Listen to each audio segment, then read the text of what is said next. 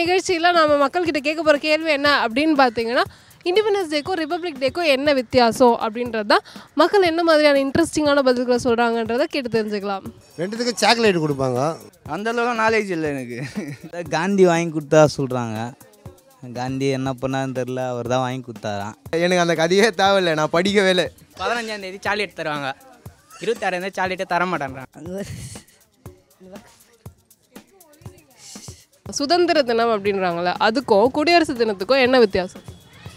எனக்கு தெரிஞ்சு ரெண்டும் ஒன்று தான் குடியரசு தினத்துக்கோ சுதந்திர தினத்துக்கா? நம்ம சுதந்திர கட்சி சந்தோஷமான நாள். கொடியேற்றுறதுக்கோசம் குடியரசு தினம். சுதந்திரம் அதுவும் தான். அதெல்லாம் நம்மளுக்கு தெரியாது நீ நான் அதில் பச்சவங்களை கேட்டால் பரவாயில்ல தமிழ்நாடு வந்து கேட்குறியாடா குடியரசு தினத்துக்கும் சுதந்திர தினத்துக்குமா? நிஜமாக தெரியாது எனக்கு.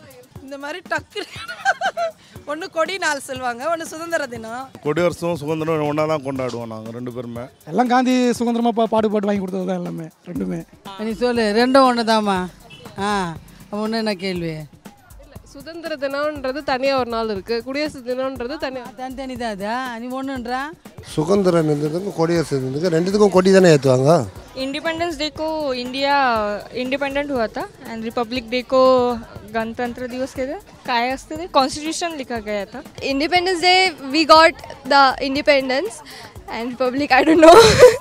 அது வந்து மகாத்மா காந்தி வாங்கி கொடுத்தது சுதந்திரம் குடியரசு வந்து குழந்தைங்களுக்கு செமையாக ஜாலியாக இருக்கும் ஸ்கூல் காலேஜ்லாம் ரொம்ப செமையாக பண்ணுவாங்க அதெல்லாம் ஒரு எக்ஸ்பீரியன்ஸாக இருக்கும் நமக்கு ஒரு பீச் முன்னாடி ஒரு கொடி வச்சு தந்தாங்கன்னா அழகாக ஏற்றி விடலாம் ஒரு கொடி ரெண்டுமே நல்லது நாட்டுக்கா அது மட்டும் தெரியும் இதுக்கும் அதுக்கும் வித்தியாசம்லாம் அப்படி ஒன்றும் தெரியல. இண்டிபெண்டன்ஸ் டேனா சுதந்திரம் வாங்கின நாள் ரிப்பப்ளிக் டேனா கவர்மெண்ட் அமைச்ச நாள்.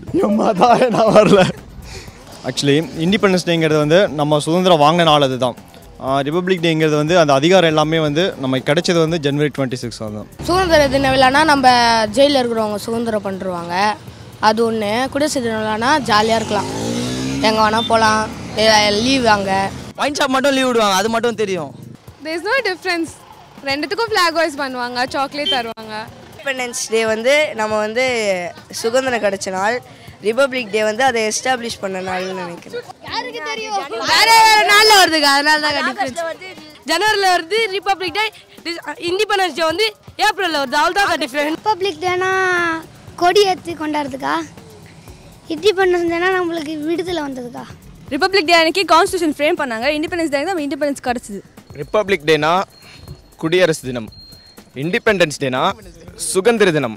சுதந்திரங்கிறது வந்து இண்டிபெண்டன்ஸ் சுதந்திரம் அடைஞ்சால் மட்டும் போதாது. மக்களை ஆளறதுக்கு ஒரு சட்டம் வேணும்.